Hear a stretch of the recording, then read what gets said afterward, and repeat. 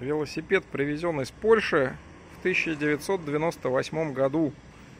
На данный момент ему уже получается 25 лет, если я не ошибаюсь, в своих подсчетах. Называется велосипед Comp.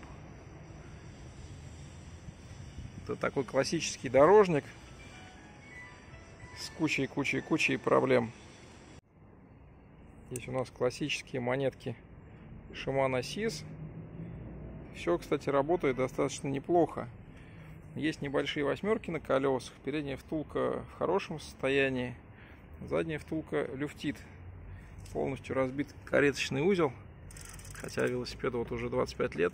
Но разбит он как бы не настолько сильный, что ездить нельзя. Но все равно будем менять.